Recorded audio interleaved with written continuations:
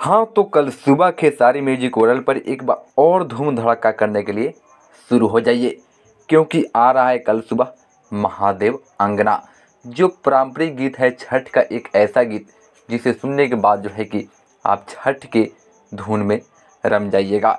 यही नहीं, आपको बता दें कि इस गाने को भोजपुरी इंडस्ट्री के ट्रेंडिंग स्टार हिट मशीन कहे जाने वाले खेसारी लाल यादव जी गाए हैं। इस गाने को अरविंद तिवारी जी लिखे हैं। अरविंद तिवारी के लिखने पर आज तक जो है कि दाग नहीं लगा है, लेकिन हो सकता है कि आगे भी नहीं लगे।